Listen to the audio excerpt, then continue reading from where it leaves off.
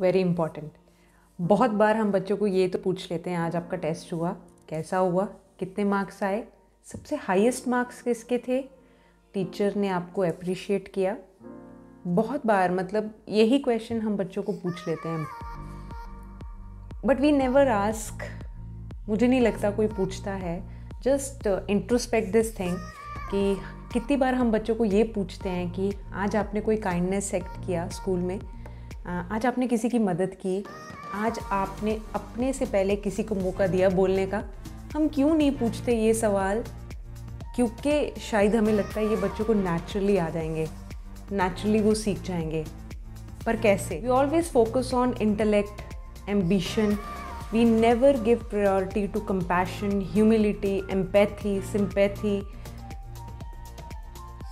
why अगर हम आजकल के पेरेंट्स, अगर हम आज, हम अपने आप को स्मार्ट समझते हैं ना तो ये समझ लो कि जो हमारे बच्चे हैं, वो हमारी नेक्स्ट जनरेशन है दे आर मच स्मार्टर उनको पता चल जाता है कि हमारे पेरेंट्स कॉन्शियसली क्या चाहते हैं हमसे, किस पे फोकस कर रहे हैं। बच्चे जो है ना, वो एक स्पॉन्ज की तरह होते हैं, सब कुछ सो कर लेते हैं।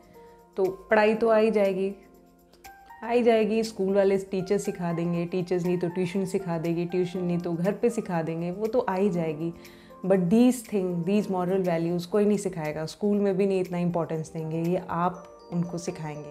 At the end of the day her parent का ये एक सपना होता है कि बच्चा कुछ भी बन जाए, कितनी भी हाई स्टेटस पा ले बड़ा हो के at the end of the day वो एक अच्छा इंसान बने। यही हर एक पेरेंट का सपना और विश है। तो let's focus on these things also क्यों जितना हम फोकस करेंगे, उतनी वो चीज़ ग्रो करेगी. Whatever we focus on it grows thank you for watching this please to tell me ये वीडियो कैसी लगी. Please like subscribe and do share thank you